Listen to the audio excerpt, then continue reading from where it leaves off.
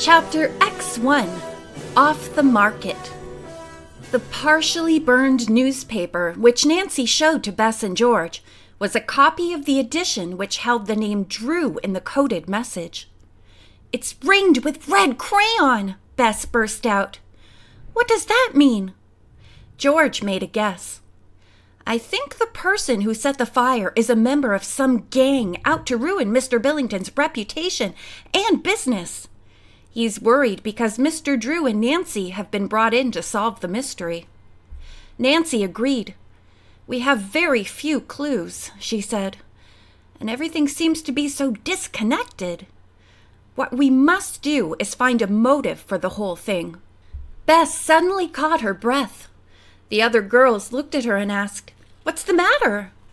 Bess's reply was upsetting.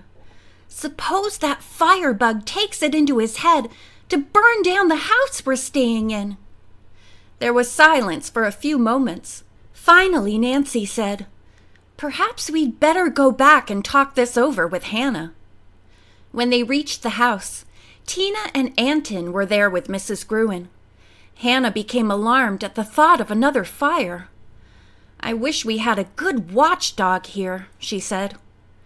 Tina was fearful of the house being set on fire but Anton shrugged off the idea. What reason would anyone have for doing such a thing? he asked Nancy. She replied, What reason would anyone have for burning down the packing house and setting fires in the grove? As she spoke, Nancy watched the caretaker's face intently. He showed no change of expression. Nancy thought, He certainly is a strange person. Aloud, she asked, what do you think is going to happen to Mr. Billington's orange business? Anton set his jaw. That's up to Mr. Billington. I know what I'd do if it belonged to me. Forget the whole thing. But of course I'll follow whatever orders he gives me. The foreman stalked from the house. As it neared time for the girls to leave for the Melbourne airport to pick up Mr. Drew, Hannah confessed that she felt uneasy about staying alone. The Rosardos had already left, saying they were going to Ruth's birthday party. When George suggested that she come with the girls, Mrs. Gruen said, I don't think I should go along and leave this house unprotected. You're absolutely right, said Bess.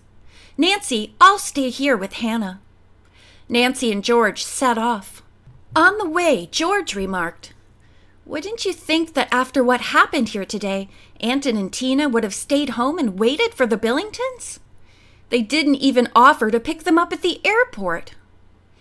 Back at the Billington house, Hannah and Bess were startled by loud knocking on the front door. Hannah went to answer it. Don't let anybody in, Bess called out. Hannah asked, Who's calling? Mr. Scarlet. Mrs. Gruen opened the door and the man stepped inside. Where's Nancy Drew? he asked abruptly.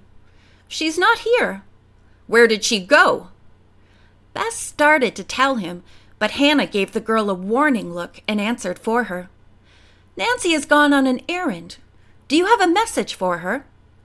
Mr. Scarlett said indeed he did, a very important one. Mr. Webster has taken his house off the market. It's no longer for sale. I must have the key to the house at once. Get it for me. Hannah said she had no idea where it was. He would have to wait until Nancy returned. I can't wait, the realtor snapped. I must have the key now. He turned to Bess. She probably told you where it is. Bring it to me. I don't know, the girl replied firmly. When Nancy returns, I'll tell her you want the key. She can bring it to you in the morning. Mr. Scarlet seemed nonplussed as well as angry. Before he had a chance to make any further demands, Hannah said to him, That's all. Good night, Mr. Scarlet. She held the door for him, and reluctantly he went out. Immediately, Bess said, Nancy's going to be dreadfully disappointed about the Webster house being taken off the market. I wonder what the reason was. I gathered from Mrs. Nickerson that Mr. Webster was eager to sell the place. As they continued to discuss the strange turn of events, Nancy and George were bowling along the road toward Melbourne. When they were about halfway there, George remarked that a car was racing up behind them. That driver certainly is in a hurry, Nancy remarked, glancing into the rearview mirror. Instead of whizzing by, the car suddenly drove up alongside, and the driver yelled, Stop! Nancy suddenly recognized the driver and stopped her car. Mr. Scarlett, she exclaimed. What do you want? The key to the Webster house, he replied. Hand it over. Nancy said she did not have it with her. She changed the subject abruptly and asked Mr. Scarlett who lived in the moss covered mansion next to the Webster home. I don't know, he replied. I've never been in there. Nancy and George looked at each other but said nothing. Why had Scarlet lied? The realtor came back to the subject of the key. Give it to me. I told you I don't have it with me, Nancy replied. But tell me why you want the key. My father is coming down tonight, and I need it to show him the house tomorrow morning. I'm sure he'll buy the place. It's no longer for sale, Mr. Scarlett snapped. Mr. Webster has taken it off the market. What? George exclaimed. I understood he wanted to sell it as soon as possible. Not any more. Tell me where the key is, and I'll go back to the house and get it from your friends. Nancy had no intention of doing this. It had occurred to her that this whole story might be false. She would ask her father to get in touch with Mr. Webster direct and learn the truth. Hurry up! Mr. Scarlett shouted. Before Nancy had a chance to answer, a trooper on a motorcycle whizzed up and stopped. He pulled out a pad and pencil and said to Mr. Scarlett, You were going way beyond the speed limit. I was in a hurry, the realtor replied. George nudged Nancy and whispered, Now's your chance to get away. Nancy thought so too. Putting the car into gear, she drove off down the road. George glanced back several times to see if Mr. Scarlett was following them. There was no sign of his car. As they neared the airport, George said, It seems strange he knew where to find us.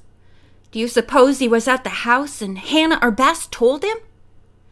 Even if he were there, I'm sure they wouldn't tell him.